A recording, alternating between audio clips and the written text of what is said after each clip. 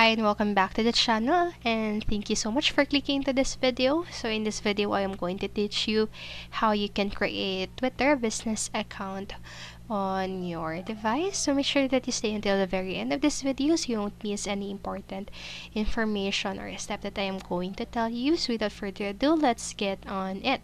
So the first thing that you need to do is to create a Twitter account. So this is actually quite simple.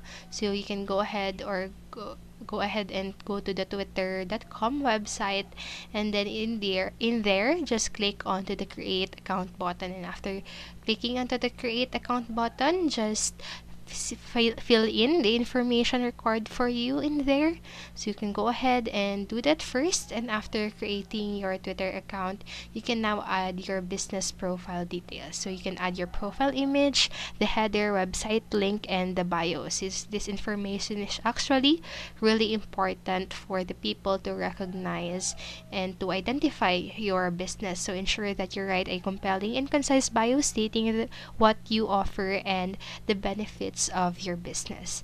And also the rec recommended image size for your profile picture is 400 by 400 pixels, while the recommended size for your Twitter header image is 1050 by 500 pixels. And after adding your profile business or if you after adding your business profile details you need to do next is to pin a tweet.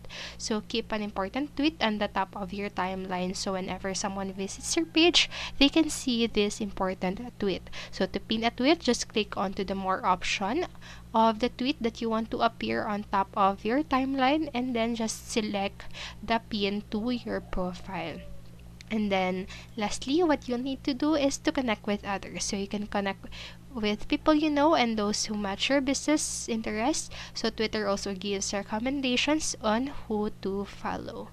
So that's it. So remember, Twitter gives your business access to millions of people around the world, giving you the opportunity to interact with existing and potential customers. So I hope you find uh, this video useful.